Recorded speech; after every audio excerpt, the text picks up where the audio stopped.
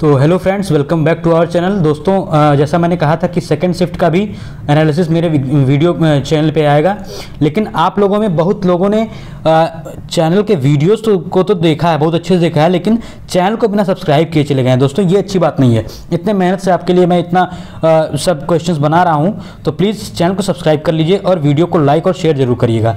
तो देखिए supreme court of India के जूनियर कोर्ट असिस्टेंट के सेकेंड शिफ्ट में क्या क्या पूछा गया था? उसमें कंप्यूटर क्वेश्चन नहीं पाए तो इसमें मैंने कंप्यूटर का पहले क्वेश्चन लिख दिया है कि कंप्यूटर में क्या क्या था। देखिए, कंप्यूटर का लेवल जो था ओवरऑल इजी था, ठीक है? एक्सेल और वर्ड से क्वेश्चन पूछे जा रहे हैं। आपका पावर पॉइंट यानी पीपीटी से क्वेश्चन नहीं आए थे। छः सात क्वेश्चन आपका एक्सेल से और वर्ड से था। मतलब इजी ही समझिए इसको, ठीक है? और इंटरनेट से पाँच क्वेश्चन थे। और आप नीचे आएँगे तो इनपुट आउटपुट से आपको छः से सात क्वेश्चन मिलेगा और फॉर्मेटिंग से भी आपको एक क्वेश्चन मिलेगा। देखिए, जैसे इस इस टाइप का क्वेश्चन आया हुआ था कि आपको चार ऑप्शन दे दिया गया है और उसमें पूछा गया है इंटरनेट ऑफ़ थिंग्स का यूज़ इसमें से किसमें नहीं होता है। वो आपको टिक करना था। बाकी स्प्रेड सीट से क्वेश्चन था।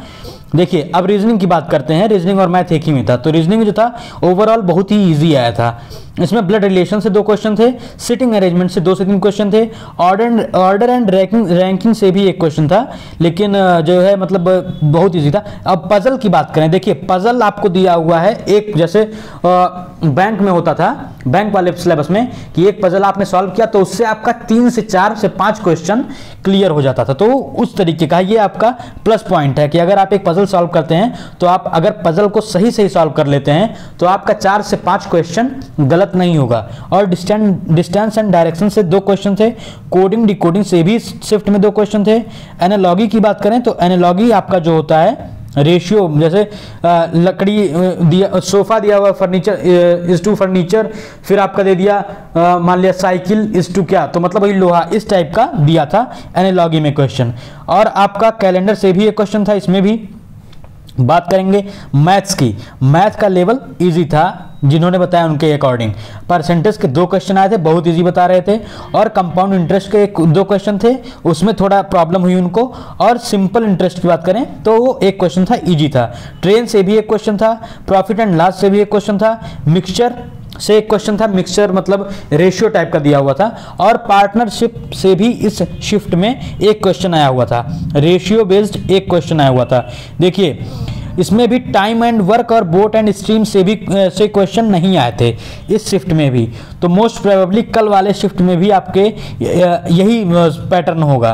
देखिए, अब हम जीएस की बात करें तो जीएस में सुबह वाले शिफ्ट में आपका सात से आठ क्वेश्चन करंट अफेयर से पूछा था, लेकिन इसमें दो से तीन क्वेश्चन केवल पूछा था, वो भी आपका 2021 का वो करंट अफेयर था। साइंस से क्वेश्चन थे दो दो क्वेश्चन आपके फिजिक्स केमिस्ट्री और बायो से। देखिए पेट क्वेश्चन मतलब पेट क्वेश्चन मतलब जो आम क्वेश्चन होते हैं, बहुत ही इजी क्वेश्चन वो आए थे साइंस में। अब ज्योग्राफी की बात करें तो उससे भी एक क्वेश्चन था, इसमें नो हिस्ट्री मतलब हिस्ट्री के क्वेश्चन नहीं थे।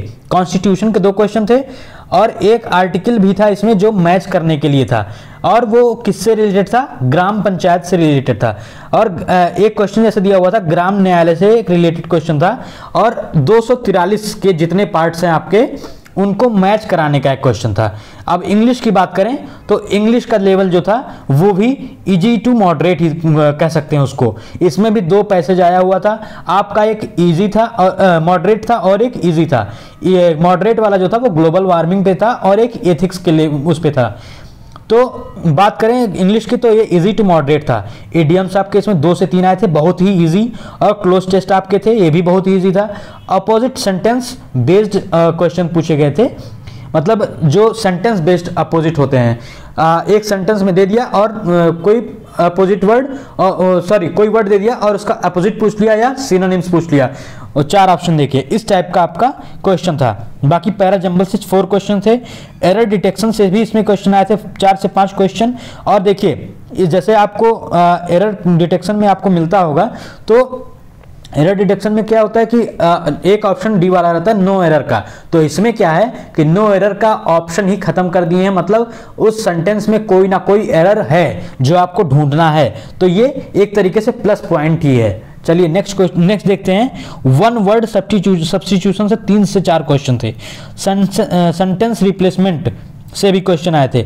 मतलब एक सेंटेंस दे दिया गया और उसके जगह पे एक बोल्ड लेटर दे दिया गया। तीन से चार वर्ड बोल्ड में करके और उसको आपको रिप्लेस करना था ऑप्शन के अकॉर्डिंग बाकी आ जाते हैं हम लोग एट लास्ट में एकदम टाइपिंग में। अब टाइपिंग में आपका बहुत कमेंट आया इसके पहले वाले वीडियो पे और जो है कि उसको हम क्लियर करते हैं इस वीडियो में। देखिए।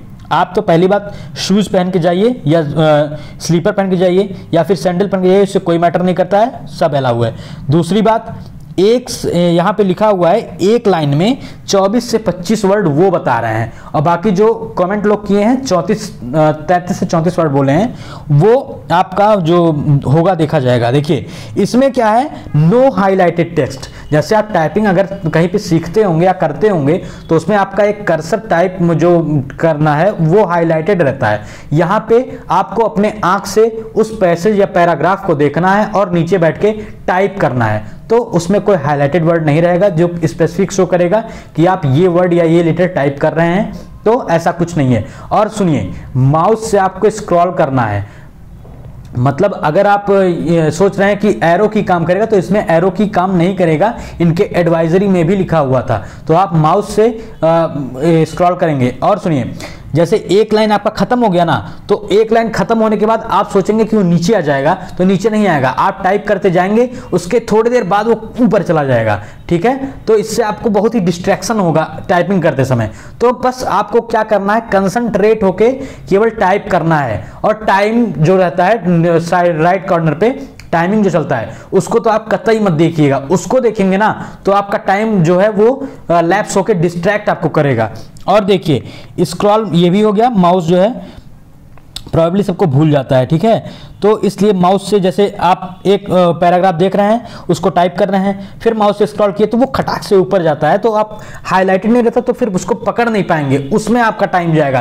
तो आपका सब कुछ मिला के आपका जो आइज़ है, वो आपके कंप्यूटर सिस्टम पे टिका होना चाहिए, जहाँ पे आप टाइप कर रहे हैं। और देखिए नो टाइम स्पीड मतलब अगर आप टाइम देखेंगे तो आपका स्पीड जो है वो बहुत ही नीचे चला जाएगा। और एक इंपॉर्टेंट थिंग जो आपको हम बता रहे हैं कि अगर आपका सुबह के शिफ्ट में है, आठ बजे से रिपोर्टिंग टाइम है तो अगर आपको आठ बजे के पहले मतलब रिपोर्ट अंदर जाने के पहले आपको जो भी करना है फ्रेश होना है टॉयलेट करना है या फिर पानी पीना है सब कुछ आप बाहर मतलब अंदर जाके कर लीजिए। उसके बाद एक बार आप अंदर जाएँगे तो उसके बाद आपको बिना टाइपिंग के उठने नहीं दिया जाएगा। चाहे तो आप अपने सीट पे ही टॉयलेट कर दें ठीक है? तो इसलिए पहले से ही आप सब कुछ करके जाएँगे।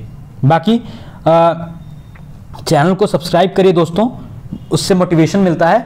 कल का अगर जैसे पहला शिफ्ट का एग्ज़ाम होगा, तुरंत उसका एनालिसिस फिर पड़ेगा तो उसके लिए चैनल को सब्सक्राइब कर लीजिए।